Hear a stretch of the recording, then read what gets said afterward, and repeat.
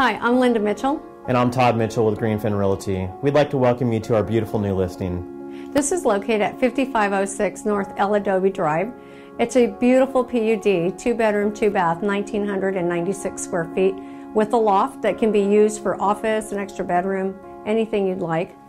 And it has a nice back patio to enjoy a cup of coffee in the morning and an updated kitchen. Please enjoy this virtual tour.